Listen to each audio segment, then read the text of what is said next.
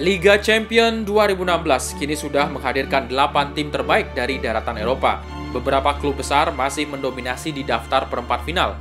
Namun, ada juga tim baru yang akhirnya mampu menembus hingga 8 besar, seperti Manchester City dan Wolfsburg.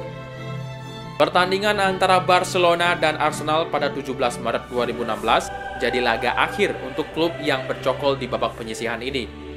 Pertandingan di Liga Champion masih menjadi gengsi klub-klub besar untuk menjadi juara di Eropa. Untuk tahun ini, tim asal negeri Matador dianggap yang paling kuat. Negara tersebut menyisakan tiga wakilnya dengan mengoleksi poin penuh selama babak penyisihan.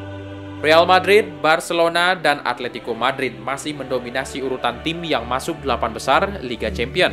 Disusul wakil dari Jerman Bayern Munchen dan Wolfsburg di urutan keempat dan ketujuh Sisanya meninggalkan satu wakilnya seperti Manchester City, Paris Saint-Germain, dan Benfica. Apa yang akan terjadi nantinya akan dilihat kembali setelah hasil undian pada Jumat 18 Maret 2016. Hal itu tentunya sudah diantisipasi oleh masing-masing pelatih dengan mempelajari kekuatan dari 8 klub yang lolos. Untuk laga perempat final Liga Champions musim ini akan digelar pada 6 dan 7 April serta 13 dan 14 April 2016.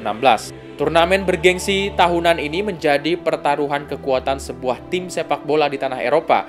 Turnamen yang digelar sejak tahun 1955 itu sudah menghadirkan tim-tim berkualitas di atas lapangan hijau.